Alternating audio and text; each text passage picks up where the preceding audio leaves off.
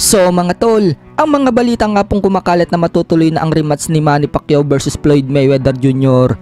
ay totoo nga po sapagkat sumabog nga po noong nakaraang araw na kinumpirma ng head trainer ni Manny Pacquiao na si Coach Buboy Fernandez nang ma-interview ito sa Bombo Radio Philippines na si Floyd Mayweather Jr. daw talaga ang makakalaban ni Manny Pacquiao.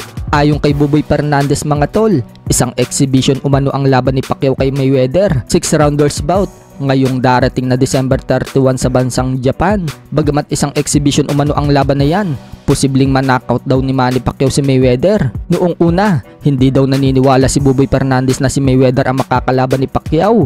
Sinabihan lang daw siya ni Pacquiao na maganda sa training dahil may laban daw sila sa December 31. At nito lang daw, sinabi sa kanya ni Manny Pacquiao na si Mayweather ang makakalaban nito at pinakita sa kanya ni Manny Pacquiao ang kontrata. Kaya tuloy na tuloy na talaga ang laban na pinakahihintay ng lahat. Pero yun nga mga tol, isang exhibition nga lang po yan.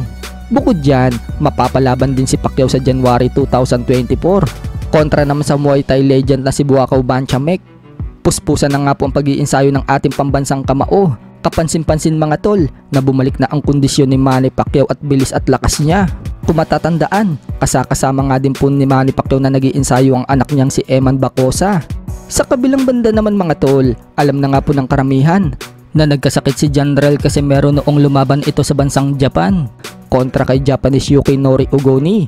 Isang linggo na ang nakakalipas kung saan nauwi sa technical draw ang laban nilang dalawa dahil sa headbutt dito kay Ugoni.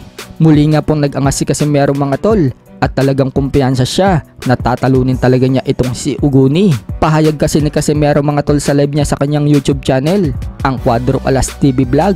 Napakaswerte lang daw talaga ni Uguni noong time na yon dahil may lagnat daw siya na lumaban.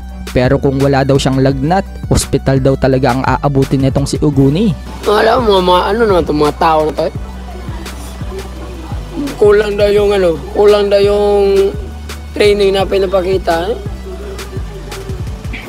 Swerte lang, may lagnat ako noon. Wala pa akong lagnat noon. Baka hospital na labas noon.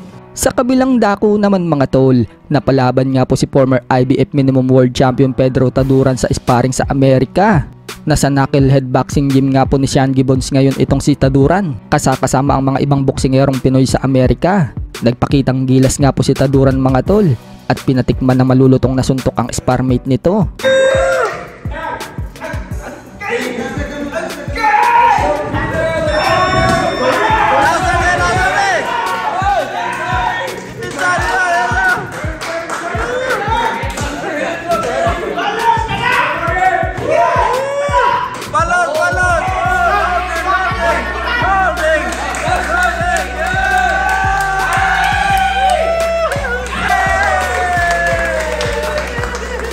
Maaaring makasama nga din po ng mga Pinoy boxers natin sa Amerika itong si Carl Hamis Martin kapag naayos na ang visa nito.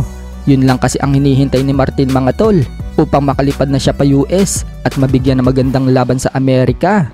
Tuloy-tuloy nga po ang pag-iinsayo ni Carl Hamis Martin para anytime handa siya pag binigyan siya ng laban.